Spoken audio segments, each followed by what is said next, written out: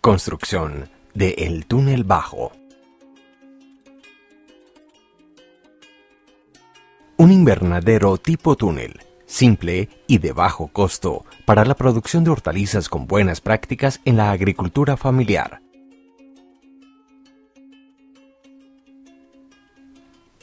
Los agricultores familiares en Colombia enfrentan desafíos importantes relacionados al cambio climático. Ello hace necesario introducir innovaciones simples y probadas que permitan mitigar los impactos y hacer más eficiente la producción. Una cubierta tipo túnel proporciona un ambiente más apto a los cultivos, en especial a las hortalizas de hoja. Pensamos entonces que el túnel bajo es ideal por su costo y simplicidad para enfrentar las olas invernales y sus heladas, también para proteger a las plantas de las lluvias torrenciales. Dado que el túnel debe contar con un sistema de riego a goteo o por manguera, se genera un importante ahorro de agua. El sistema permite una mayor densidad de cultivo, siendo ideal para cebolla de rama, lechuga y cilantro. Estas estructuras son sencillas y de menor costo, comparadas a los tradicionales invernaderos en Colombia pueden ser construidas por las familias con base en su mano de obra. Trataremos aquí de indicar los principales componentes, su armado y utilización. Se recomienda el establecimiento de cinco camas de un metro de ancho por 30 de largo y sembrar a una distancia de 33 por 30. Esta distribución permitiría la siembra de 300 plantas por cama y en total 1.500 plantas por túnel. La producción por planta es de mínimo 500 gramos por desige, obteniendo en total 750 kilogramos cebolla en cada ciclo productivo, a diferencia de producir a campo abierto. Con este tipo de cubierta se pasa de 3,4 a 4,8 cortes al año. A continuación veremos el proceso de cómo realizar la construcción de un túnel bajo de 7 metros de ancho por 30 metros de largo y 3 metros de alto en el cenit, para un total de 210 metros cuadrados. Primero, selección y adecuación del terreno. Lo primero que se debe hacer es una buena selección del terreno. Para esto, se debe tener en cuenta la calidad del suelo, la pendiente y la uniformidad del terreno la cual debe ser en toda su longitud igual.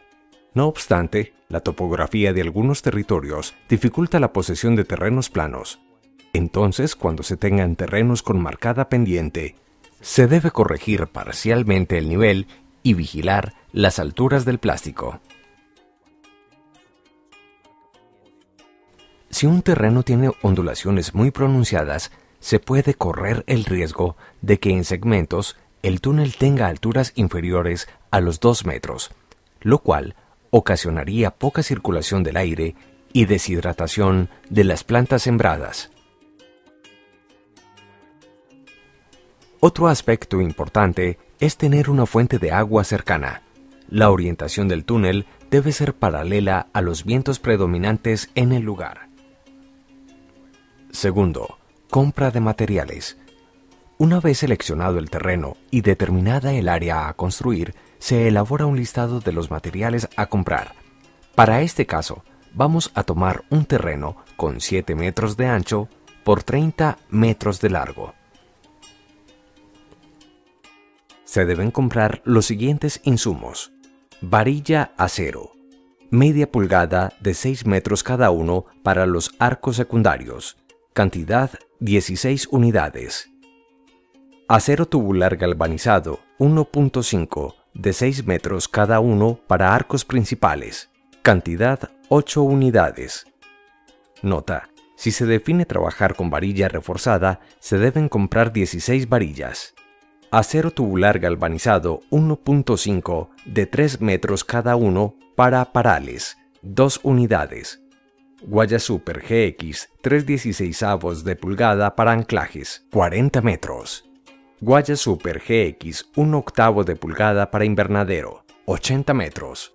Polietileno Politip, calibre 6, 297 metros. Bases para arcos. Cemento, un bulto. triturado 4 latas, arena 8 latas, anclajes 6 unidades, varilla lisa un cuarto de pulgada 24 metros, tuercas 33 unidades.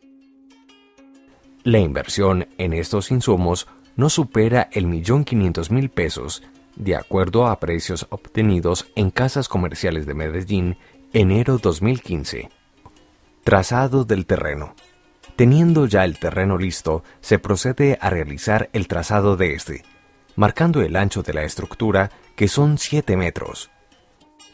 El ahollado para los arcos de acero tubular se hace cada 15 metros con un ancho de 20 centímetros por 20 centímetros y una profundidad de un metro. Cuarto, preparación y anclaje de los arcos principales. Los anclajes se deben hacer en los extremos frontales de cada arco, los de los extremos a una distancia de un metro del tubo o varilla reforzada, y el central a 2,5 metros del mismo. El hoyo debe tener un metro de profundidad y 20 por 20 centímetros de diámetro. En el hoyo se debe introducir una varilla, la cual en uno de los extremos se dobla en forma de L, para que se fije mejor al suelo, y adicional dos varillas dispuestas en forma de cruz de 20 centímetros cada una y soldadas a la varilla, similar a lo realizado con los tubos de acero galvanizado. Y en el otro extremo, que justo es que sale afuera de la superficie, hacer un doblado como se observa en las siguientes fotografías. Quinto, Preparación de los arcos principales, tubos o varillas reforzadas y secundarios, varillas. Antes de enterrar el tubo se hace una especie de cruz de 20 centímetros en varilla de media pulgada y se suelda en la parte inferior, esto con el fin de asegurar una mejor fijación al suelo. En el fondo se vacía una capa de mezcla de cemento de aproximadamente 30 centímetros y lo restante se cubre con tierra hasta llegar a la superficie del suelo.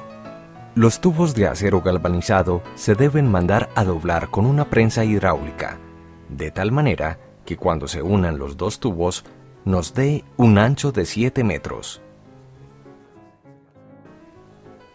Valga aclarar que el tubo puede ser reemplazado por dos varillas que cumplan la misma función.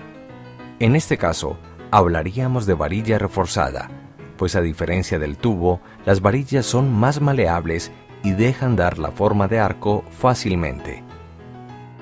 Esto considerando además los recursos con los que cuenta un producto de agricultura familiar para curvar, pues seguramente la prensa hidráulica es de difícil acceso para ellos. Se recomienda que la demarcación de los arcos de tubo o varilla reforzada se haga cada 3,75 metros. No es necesario ahollar, solo enterrarla un metro de profundidad. Las varillas, al igual que el tubo, miden 6 metros de longitud. La unión debe hacerse punta sobre punta para asegurar que no se reviente en la puesta o a un mediano plazo. El empalme debe hacerse con un tubo de menor diámetro. Finalmente, en el intermedio de cada dos arcos en acero galvanizado van cuatro arcos en varilla de media pulgada. Por último, a los dos arcos principales de los dos extremos se les debe anexar de manera soldada una varilla de un cuarto de pulgada paralela, separada del tubo o la varilla reforzada hacia afuera del invernadero para más adelante permitir coser el plástico a la hora de extenderlo sobre los arcos. Tanto a los dos arcos principales de los dos extremos como a las varillas se les deben soldar tuercas de 3 octavos, 3 unidades por arco, una de ellas en el centro y por la cual pasa la guaya de un octavo, y las otras dos en los extremos a un metro del suelo por donde pasan las guayas de 3 avos. Donde van unidos los tubos o varillas reforzadas, se debe hacer una introducción de un tubo de un diámetro inferior, de tal manera que cuando se vaya a instalar en el terreno se unan las dos partes formando el arco y luego soldando o pasando una tuerca de lado a lado que asegure que ambas partes no se vayan a despegar.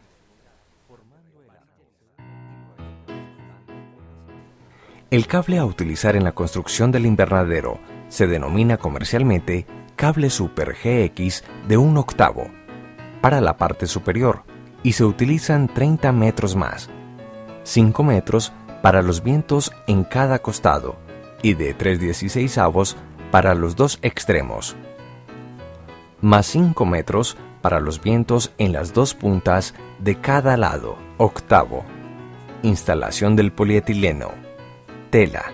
El polietileno utilizado en invernaderos es una tela de calibre 6.0 de 9 metros de ancho por 30 metros de largo.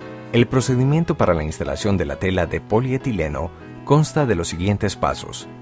Desenvuelta del rollo y desplazamiento de la tela sobre los arcos. Luego de esto, se tensiona la tela y se cose en los extremos de los vientos a cada lado del túnel. Noveno. Mantenimiento. Se recomienda hacer tensión de los cables como mínimo cada seis meses.